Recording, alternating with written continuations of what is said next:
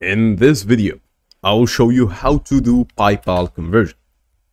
Without further ado, let's get started. The first thing is you gotta sure that you are logged in in PayPal.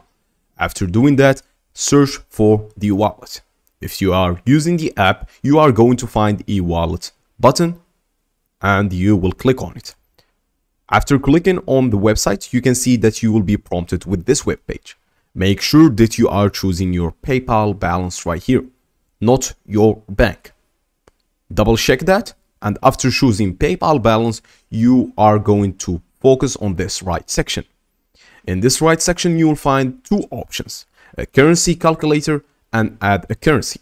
Let's get started with a currency calculator first of all. The currency calculator will allow you to see a conversion rate in PayPal. Please note that PayPal contains some fees when it comes to conversion.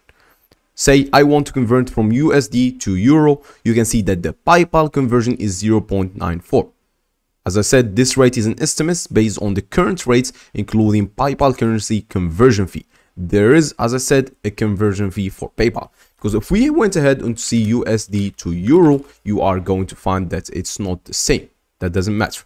As I said, just be aware of the fee.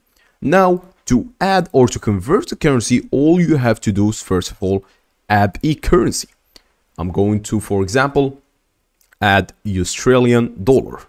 Clicking on it and clicking on add a currency right here will get me done. After that, I'll be able to right click on this three buttons and make it as primary currency. That will be it for today's video, guys. You can make it primary currency right here, set as primary, and then done and then delete this one and all of your balance will go to the Australian dollar. Thanks for watching and goodbye.